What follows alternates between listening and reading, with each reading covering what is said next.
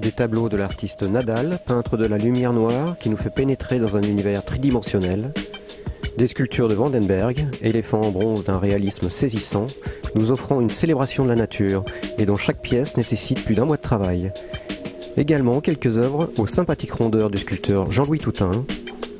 Et plein d'autres artistes sont à découvrir à la Sacca Galerie, 7 rue Croix Baragnon, du 8 octobre au 19 novembre 2011.